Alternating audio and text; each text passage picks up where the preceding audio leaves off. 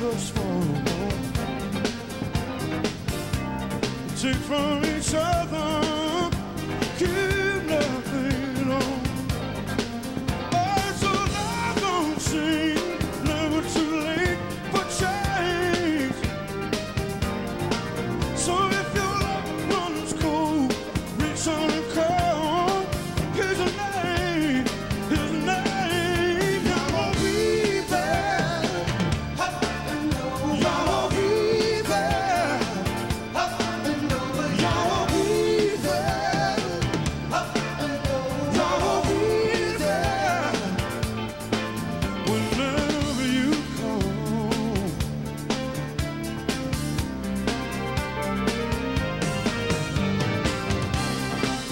Never be lonely,